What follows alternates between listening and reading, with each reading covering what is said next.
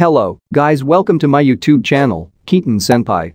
Today we are talking about One Piece manga, a newspaper advertisement commemorating the 100th compiled book volume of Eiichiro Oda's One Piece manga appeared in the Asahi Shimbun, Yomiuri Shimbun, and Mainichi Shimbun on Friday, and it included a photo of Oda drawing at his workshop with the words, the story is in the final stage. Oda previously said in an interview in August 2020 that he plans to end the story. In four or five years the manga's 100th compiled book volume launched in Japan on Friday. One Piece manga creator Eiichiro Oda says One Piece manga story is in its final stage. I will keep updating you guys about any official upcoming season news if you guys have any questions, comment below and stay tuned.